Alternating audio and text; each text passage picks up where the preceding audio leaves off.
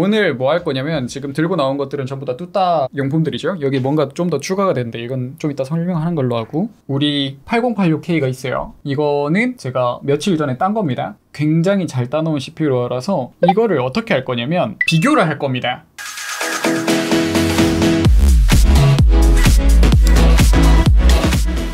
뭐랑 비교를 할 거냐? 이거 뭔지 안 보이시죠? 이렇게 실버 세이버라고 하면서 아무튼 이겁니다. CPU 뚜껑입니다. IHS 뚜껑이에요. 그 뚜껑을 따로 파는 걸 산 겁니다. 우리가 알고 있는 지금 CPU 여기 뚜껑은 구리에다가 니켈 도금 된 걸로 알고 있거든요. 근데 보이시는 이 뚜껑은 그런 도금이 안 돼 있는 거예요. 그냥 땡짜 구리예요. 이걸로 바꾸면 어느 정도 차이가 나는지. 그리고 이게 뭔지 아십니까? Delayed Die Guard라고 해서 뚜껑 없이 사용하게 해주는 제품이에요. 이건 뚜껑을 씌우는 거고요. 이거는 이 사이에 CPU를 놔가지고 CPU 코어를 보호해주는 겁니다. 그러니까 그냥 CPU 뚜껑을 안 닫고 그 상태로 쿨러를 끼우면 압력 때문에 코어가 깨질 거 아니에요? 코어가 직접적으로 압력을 받을 거니까. 근데 이거는 여기서 이렇게 보호를 해주는 거예요. 이거 구리 그리고 그냥 뚜따를 비교하겠습니다. 오늘은 바로 한번 가보도록 하죠. 일단은 테스트 환경은 LinX 3회를 기준으로 할게요. 실내 온도는 25도 정도로 맞추고 할게요. 일단 지금은 실내 온도가 살짝 낮은 편이라서 조금 더 높이도록 할게요. 조금 데우겠습니다. CPU는 50배수에 전압을 1.35를 넣고 이제 Apex 보드라서 이렇게 전압이 1.36으로 인가되는 거고요. 램 오버는 1.35V에 3200에 14, 14, 34에 330D에 뭐 이거 해가지고 아무튼 발열이 똑같게 램 오버하고 CPU 오버를 똑같은 상태에서 수온까지 똑같이 하면 똑같은 환경이 되니까요. 일단은 벤치는 끝났습니다. 수온은 최저 27도에서 최고 32도까지 올라갔고요. 전원부 온도는 58도까지 올라갔습니다. 어차피 최고 온도만 보면 되기 때문에 뭐 최저 온도는 크게 의미는 없어요. 보면 74, 76, 78, 76, 76, 74. 코 온도 편차 4도고 최고 온도가 78도까지 나오네요. 여기까지 하고 두딱 한번 해보도록 하겠습니다.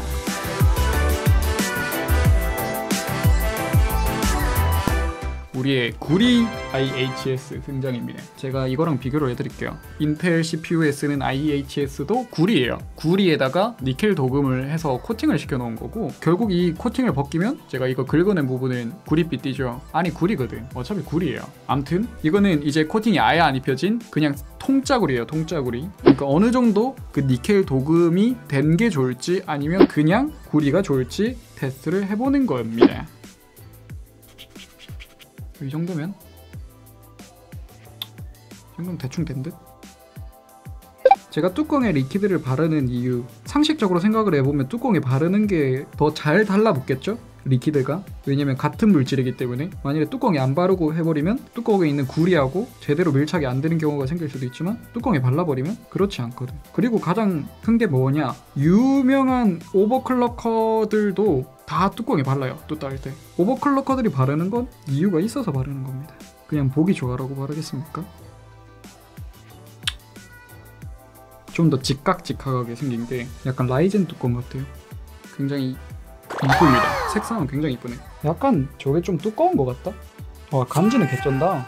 양껏 짜겠습니다 실온은 아까하고 비슷해요. 아까는 내가 이거 못 보여드렸네. 아까도 25도 수준이었고요. 수온 보시면 알 거예요. 아까하고 수온 지금 실내 온도가 비슷하다는 걸. 수온도 아까 전에 28도에선가 시작해가지고 32도까지 올라갔었죠 뭐 더 볼 것도 없는데 온도 떨어졌어요. 확실히 떨어졌어. 근데 오차의 느낌은 아니고 확실히 뚜껑 때문에 떨어진 느낌이 들어요. 왜냐면 아까보다 수온이 올랐어요. 아까는 최대 수온이 33도까지 올라갔었고 전원부 온도는 똑같이 58도입니다. 그리고 PCH 칩셋 온도는 아까 전에 42도, 지금 43도. 그러니까 아까보다 수온이 더 올라갔는데도 불구하고 지금 코 온도가 아까 전에는 74, 76, 78, 76, 76, 74였어요. 근데 지금은 72, 73, 75 73, 74, 72. 아까보다 2도에서 많게는 최고 온도는 3도까지 떨어졌어요. 어, 일단은 굉장히 성공적으로 구리 IHS까지 끝났습니다. 이제 해야 될 건 뭐냐? 뚜따를 해야겠죠. 진짜 뚜껑을 그냥 따버려야겠지? 원래 하던 데만 shielding 처리하고 그대로 쓰면 될 것 같아요. liquid는 어차피 저기 가서 바르면 되거든요. 진짜 얇게 발라서 DDF를 썼을 때 문제가 안 생기게 끝이에요. 여기서 할 작업은 이거밖에 없어. 이제 저기 가서 작업해야 돼요. 메인보드에서. 제가 설명서는 안 봐서 몰라요. 하지만 감으로 할게요. 일단 이걸 열어야 될 것 같아. 왜냐면 나사가 동봉이 안 돼 있다는 거는 여기 있는 나사를 그대로 써야 된다는 걸 의미를 하거든요. 딱 맞네요. 육각. 여러분들은 절대 절대 일반 상황에선 이거 절대 여시면 안 됩니다. 내가 저번에 다른 유튜브 영상 보다가 봤는데 뭐 컴퓨터 설치하다가 이거를 연 친 분이 있던데 이거 절대 여시면 안 됩니다. 이렇게 우리가 항상 사용하는 CPU를 고정시켜주는 이거 이름 뭐라고 하지? 아무튼 이거까지 해체가 완료됐습니다. 그럼 이제 어떡하냐? 뭐 그냥 설치하면 되겠지. 이걸 놓은 다음에 리퀴드에 바르면 되겠지 뭐. 일단 한번 닫아봐요. 지금 닫을 게 아닙니다. 일단 한번 대봐요. 왜냐면 대야 뚜껑에도 어느 위치에 바를지를 알 수가 있으니까 됐다가 떼줍니다. 약간 여기 기름기 같은 게 남아 있어요. 저 기름기 있는 부분에 리퀴드를 발라주겠습니다. 그 금방 될 때 힘을 주면 코어가 부셔지니까 조심해야 돼요. 저 따라서 똑같이 장착을 하시면 안 됩니다. 여러분들은 상세하게 인터넷에 검색을 해본 다음에 하시는 게 좋을 것 같습니다. 저도 저를 못 믿겠어요. 지금 제대로 하고 있는 건지. 이렇게 완료가 됐으면 이제 DDF를 설치해 봅시다. 여기 넣으면 대충 딱 맞으니까 이 상태로 아까 전에 그 나사들을 장착을 해줍니다. 잘 얹습니다. 수평으로. 일단 바이오스는 떴다. GPU는 안 되졌습니다. 일단 안 죽었어. 88도 떴었어, 금방? 접촉이 덜 됐나 보다. 안 돼! CPU 오버 템프로치. 아, 제발. 아, 89도. liquid를 잘못 발랐을 수도 있어요. 그래서 liquid끼리 이렇게 안 붙어가지고 그럴 수도 있어. 한번 한번 다시 분해시켜 볼게요. 기가 막히게 한 것 같은데. 높이가 높다면 liquid를 발라가지고 그 사이를 메우면 되는 거 아니야? 너무 많이 발랐나? 조금 더 줄게요 이거. liquid로 안 메워지면 thermal을 바르라고. 근데 thermal을 바르면 하는 의미가 없어요 이거를. 왜냐면 썸얼은 아무리 좋아봐야 썸얼이야. 어 형. 오버 템퍼러처. 야 72도밖에 안 된다. 82도네. 뭐가 문제지? 왜 생각보다 높이가 엄청 높은 건가? 쿨러가 지금 너무 높이 장착돼 있거나 아니면 DDF 이게 코어 보호를 너무 잘해주거나 3점 실리콘은 DDF에 안 닦을 만큼 좀 지어냈습니다. 이걸 아까 전에 보니까 그걸 하더라고. 완벽한데? DDF 설치된 거는 거의 완벽해요. 쿨러가 너무 높게 장착이 된 거겠죠? 쿨러하고 코어 사이가 붕 뜨면서 안 되는 거일 테니까 이거를 한번 빼볼게요. 보호를 위한 오링 그러면 높이가 더 낮아질 테니까 아 솔직히 이게 마지막이에요. 이거 안 되면 높이를 더 이상 줄일 수가 없어요. 내가 지금 상황에서는 어? 잠깐만 깨지는 소리가 들린 것 같은데? 어? 어? 됐다. 드디어 됐다. 간다! 보호해주는 저 실리콘 오링 저것 때문에 그 높이가 높아져가지고 문제가 있었던 거네요. 근데 저게 일반적으로 사용할 때는 저게 있는 게 맞습니다. 왜냐면 그 나사를 쪼을 때 거기가 갈려 나갈 수 있기 때문에 수온도 27도 됐고 적당하네. 아 일본 코어 왜 저러냐? 아 일본 코어 저 자식 저거 사고 칠 것 같은데. 3, 4, 5번 코어가 제대로 밀착이 됐구나. 써멀 한번 발라볼까? 써멀 바르면 최소한 저거는 없을 텐데 저런 건. 0, 1, 2가 높고 3, 4, 5가 낮다는 거는 뭔가 한쪽만 딱 그렇다는 거잖아. 그러니까 리퀴드가 워낙 점성이 구리다 보니까 진짜 딱 안 달라붙으면 안 되거든요. 유격이 없어야 돼 유격이. 이거 더 볼 필요도 없을 것 같아. 써멀로 발라봅시다. 내가 보기에는 이, 이 테스트는 망했어. 써멀로 발라보자 써멀을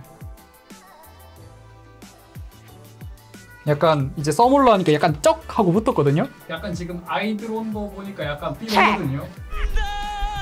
아 미친. 두따의 마지노선은 뭐다? 구리 IHS 쓰는 게 마지노선이다. 네 온도가 네, 그냥 볼 필요도 없습니다. 일단 구리 IHS는 온도가 2도에서 3도 정도 떨어졌습니다. 뭐 2도에서 3도가 그렇게 크지 않다고 생각할 수 있는데 오버클럭을 이제 많이 하면 전압을 많이 주면 많이 줄수록 그 격차가 더 심해지기 때문에 뭐 한 4도까지도 차이 벌어지지 않을까? 그 정도 온도가 별로 막 중요하지 않다고 생각하시는 분들은 그냥 뚜따만 하시면 되고요. 그게 중요하다고 생각하면 구리 IHS를 쓰면 될 것 같습니다. 13.99달러. 가격으로 따지면 한 15,000원? 네, 16,000원 되네요. 구리 스프레더 이게 16,000원이고요. 이거 하나가 이거 말고 다이 가드 이게 오지게 비싸네 이거. 39.95달러입니다. 네, 45,000원. 45,000원 공중분해 됐네요. 그러니까 여러분은 그그 돈을 주고 이제 오버 시스템에 가셔서 뚜따를 그냥 하시면 되는 겁니다. 이 구리까지는 괜찮아요. 구리까지는 솔직히 말해서 2도에서 3도 떨구는 거 가성비로 치면 16,000원이면 나쁘지 않다. 저거는 쓰레기. 물론 제대로 사용하시는 분들은 제대로 사용하시겠죠. 근데 과연 저거 하나의 가치가 46,000원의 가치가 그 정도의 가치가 있을지 모르겠네요. 문제 생길 여지가 크기 때문에 이런 뚜껑은 문제 생길 여지가 거의 없지만 저런 거는 조금만 잘못해도 이제 코어가 작살이 나거나 그럴 확률이 높기 때문에 그리고 금방 봤듯이 저걸 사용하면 무조건 liquid를 써야 되는데 liquid를 쓰면 그거에 썼던 그 블럭들을 쓰기가 굉장히 어려워집니다. 왜냐면 그 리퀴드가 접착이 돼가지고 안 떨어지기 때문에 해먹은 거죠. 그냥 뚜따만 하세요. 여기까지 하겠습니다. 여러분 Bayern.